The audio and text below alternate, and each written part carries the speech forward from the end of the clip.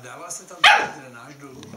V každém případě zase drenáž, potom dáme vrstvu substrátu a na to dáme petrklíček, nebo do toho vsadíme petrklíček. Vybereme si hezky barvy, které nám sobě sedí.